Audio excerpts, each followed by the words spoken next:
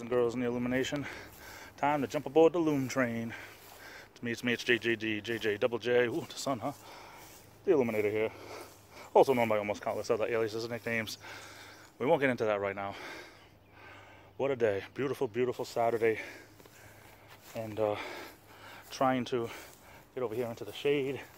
Oof, my goodness gracious. Oh, here we go. Here we go. Sorry about that sun. But uh, I almost forgot what the sun looked like. It seemed like it was raining so many days in a row. But things are going good, I guess. Can't complain too much. Been working more on the uh, duck pen today. And uh, duck coop, rather. And uh, same thing. Same difference, right?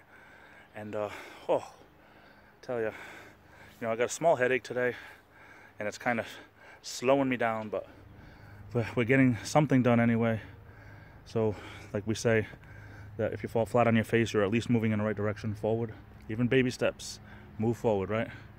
Look at these things right here. Look, these are those little helicopter Pinocchio noses things I was telling you about before. Everything's turning green like almost overnight. Spring has officially sprung. Oh man, catching a breath over here, taking a five minute break, so I thought I'd do my video and uh, and that's about it. So I hope you're having a good weekend. I hope that you're being productive. If you're not being productive, I hope you're at least resting. so you can be productive another day. So nothing else is going on, so figured I'll cut this one short and sweet and uh, say sayonara till next time. I love you all. Take care. Have a great rest of the day. Be good to each other. Live strong. Be the miracle. This is the Illuminator and I'll be back.